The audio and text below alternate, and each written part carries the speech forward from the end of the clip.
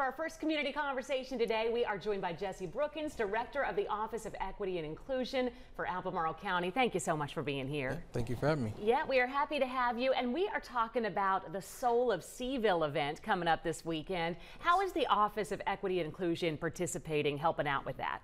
Well, first, yeah, we're excited. Uh, the Soul of CVille will be taking place this weekend. Um, it's a fun, family friendly, and free event.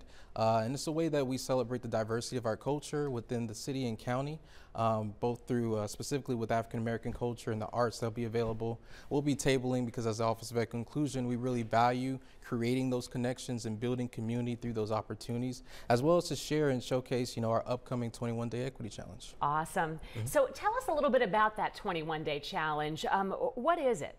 Well, the 21 Day Equity Challenge first is to explain equity. So what we mean by the Office of Inclusion is equity is a continuous process of action and, and, reflection and analysis of what is fair and just for all. So we really want to create a challenge that builds awareness of what we mean by equity as a county, as public servants, but also as a collective community. Uh, you'll be able to engage, learn new material, visit places, and it's really a self-guided tour for us to be involved and connected with our larger community. Awesome, and it's something that's so important. Uh, if people want to learn more about the Equity Challenge, um, when it's happening, how they can take part, what should mm-hmm. they do? Well, first, uh, to let you know that this will all be taking place during August and continuously.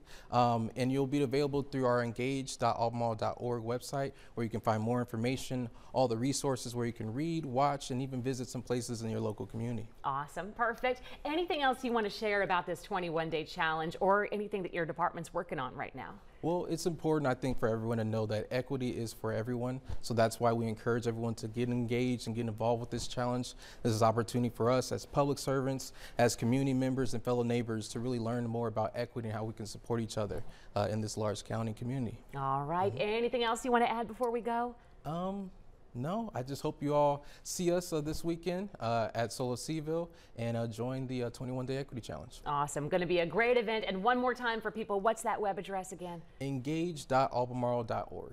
Okay, perfect. Thank you so much for being here with us. Thank you for having yep. me. We'll have you back soon, and we will be right back.